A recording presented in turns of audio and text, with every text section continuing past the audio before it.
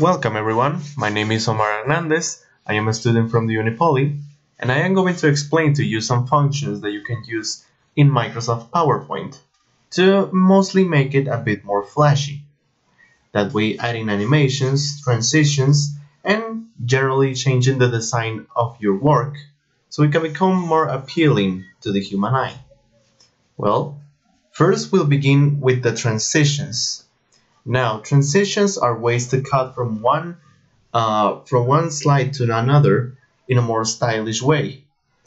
As you can see, there's uh, I already put one transition here called push, and as you can see, it's a little stylish way of moving around your slides.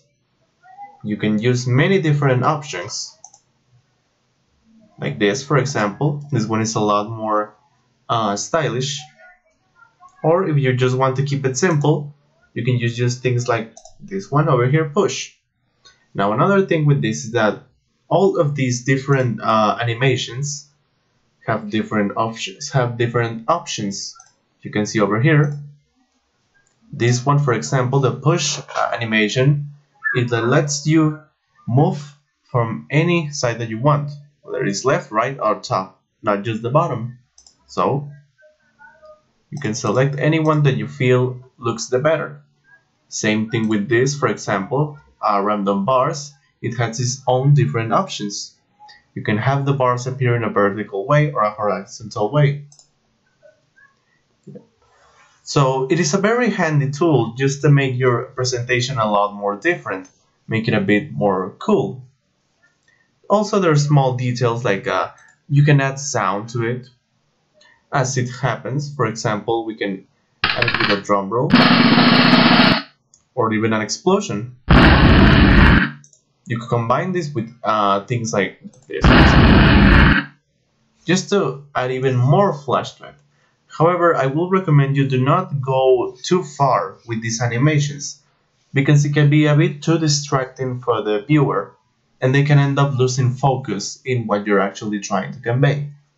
With that being said, I'm not saying that you shouldn't be creative. You can do this as you feel like it. Now, and for next, we'll be going through the animations.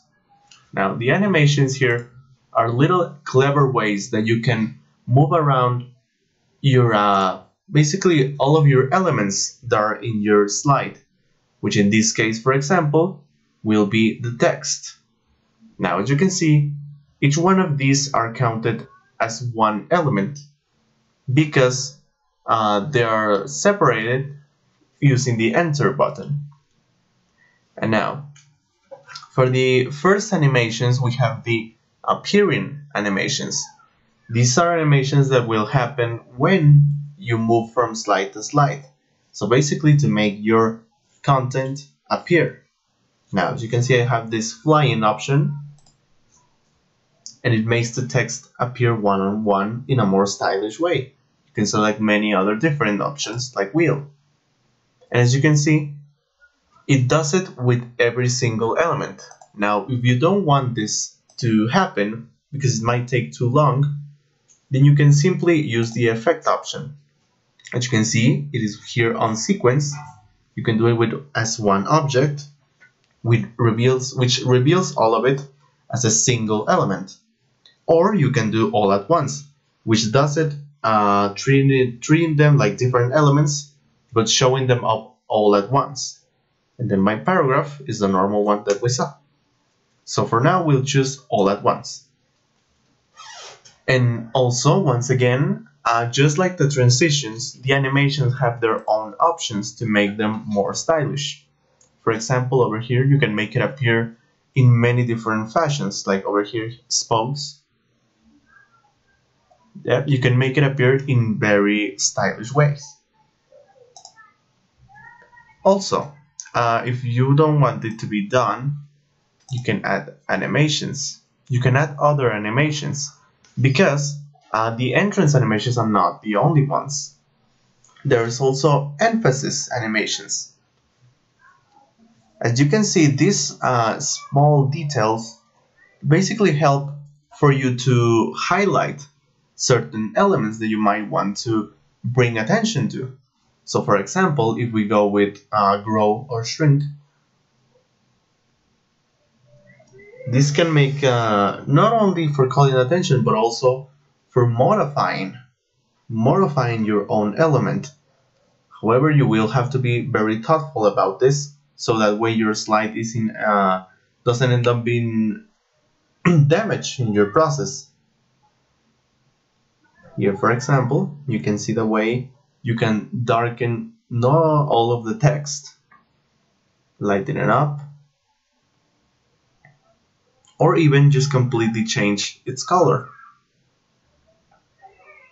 Now for something we'll be doing uh, this pulse. This right here is the main one that you use for calling attention to a certain item.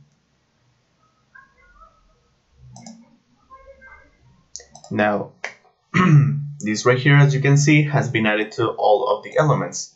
So they'll all be appearing along each other. If you can see with a single preview they'll appear and then the highlight will happen. So you can add many different animations to your text. It's not just uh, one.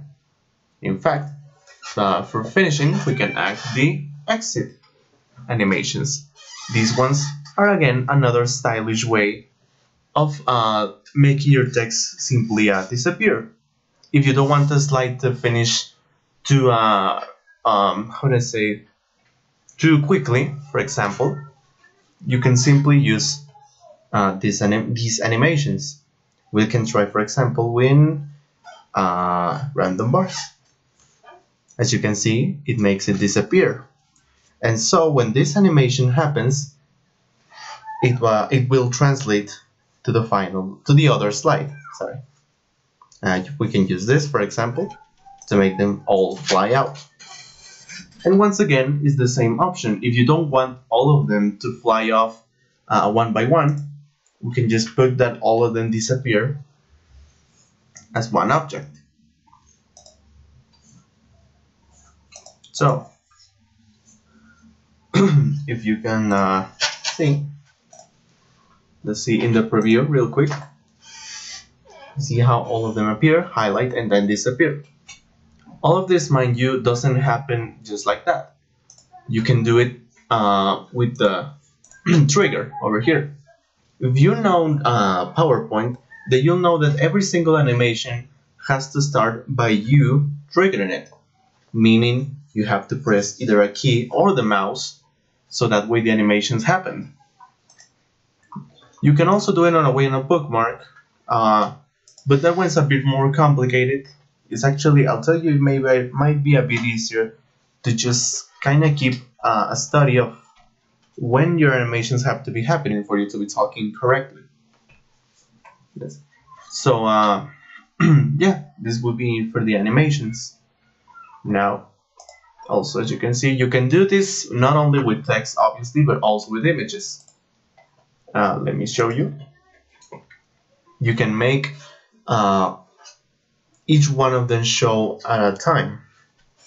But uh, in a way that you can choose which one you want to appear first. So not only that you can also choose uh, different uh, different animations for your elements. So if I got I want to do split for the image let's add maybe this and then you can just select number 2 over here and make it have a flying animation. Then we can go with this one and have it use shrivel. Do you uh, do you get it? You can use different animations with all of your with all of your elements, not just have them being a single one. Now, for a, a little now final thing, we'll be going through the design. Now, there are many different ways that you can customize your presentation, so that way it isn't boring to look at. Obviously, people don't just want to stare at text. They become bored and they start losing attention on your work. So, you can choose many of the different uh, designs that PowerPoint has for you. All of them are beautiful and appealing for any person. And you can even put your creativity on it so that way you can attract more people while you explain. So maybe we can choose this one. Uh, obviously uh, the designs aren't the same. There's going to be changes within the text. If you're already finished uh, with a design in mind and then change to another one it's going to be a bit problematic because as you can, as you can see the text doesn't stay the same so keep that in mind whenever you're selecting your design. Make sure that you have the design that you like, a design that you're certain you're going to keep. Because if you're trying to change it later, you might have a bit of uh, a bit of a problem making it look appealing again. So uh, as for now, we're going to stay with the one that I chose. Uh, not also, not only that, but you can also change the colors. So let's say you like this design, but you're not a very big fan of the color green.